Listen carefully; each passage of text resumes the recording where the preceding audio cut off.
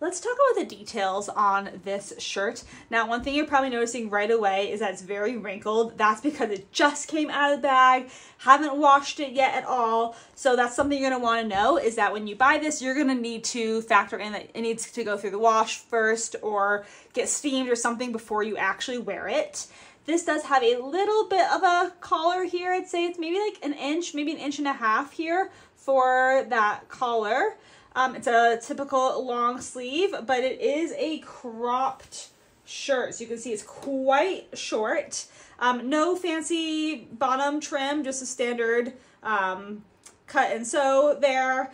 And again, because this is a very stretchy material, it's going to be quite skin tight and it is very, very thin. So you can see um, that there's not much thickness to this shirt. So I'd say this is great for a transitional piece. If you live somewhere warm and you want to maybe look a little bit more fall with the higher neck here, but without um, getting too warm because of the crop and because of the thinness of this shirt.